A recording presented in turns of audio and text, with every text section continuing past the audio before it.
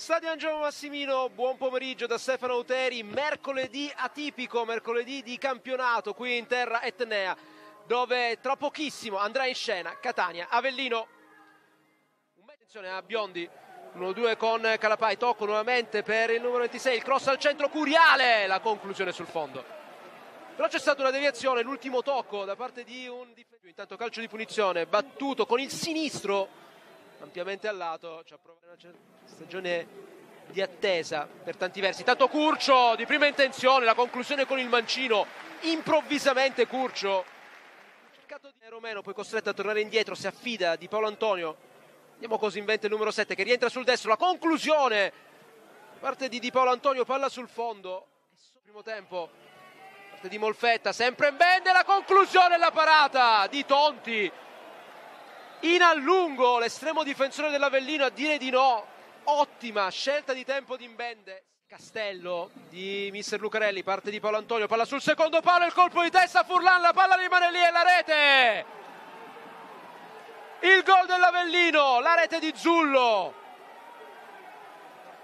Era riuscito solamente per un attimo Furlan a intervenire sul pallone. Gioco per Bieggianti, poi Rizzo sventagliata all'interno dell'area, Bertolo di testa, Biondi non si accontenta, palla al centro per Curiale, non la trova e poi la rete! Sul secondo tentativo Davis Curiale riporta in parità il parziale, un primo intervento che non era stato risolutivo, la palla è rimasta lì come in occasione del gol dell'Avellino e stavolta Pinto, sempre col suo sinistro, palla al centro, poi arriva Calapai, la conclusione mancina, palla che arriva docile fra le mani di Tonti, la tiene lì, guardate come parte in velocità, ancora Mikowski, Romeno, due uomini sull'out di sinistra, la palla per Izzillo, la conclusione di Izzillo che termina sul fondo, che brivido per Furlan che ha uno contro uno, Mikowski contro Silvestri, entra verso il centro, ancora Mikowski, poi di Paolo Antonio la conclusione sul fondo.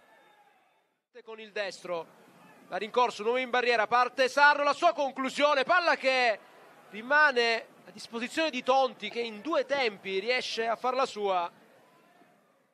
Rigore, Vicente, Mbende, parte il cross verso Silvestri, Tonti in calcio d'angolo. Viene contrastato fisicamente, trattenuto all'interno dell'area, cadono a terra ed è calcio di rigore, calcio di rigore. La trattenuta su Esposito Adesso cerchiamo di capire, probabilmente è stato Morero, arriva anche l'espulsione per un giocatore dell'Avellino, Lucarelli che dice ai suoi di andarsene, ma arriva il fischio, la rincorsa di Sarno, la rete! Catania 2, Avellino 1, il gol di Vincenzo Sarno. L'esplosione della panchina del Catania, tutti ad abbracciare Vincenzo Sarno, tutti i giocatori dell'Avellino invece a protestare, prima col direttore di gara, poi con l'assistente, probabilmente per eh, Sarno, adesso dall'altra parte, Sarno verso Barisic, tocca al centro Barisic, la conclusione Dotti e poi Sarno, la rete del Catania, Vincenzo Sarno, la doppietta del numero 7, punto esclamativo, dopo il calcio di rigore a porta vuota, il gol di Vincenzo Sarno. Lucarelli che avevano fatto un po' inasprire il rapporto suo con parte della tifoseria. E arriva adesso il triplice fischio del direttore di gara. Gli applausi del Massimino per un Catania.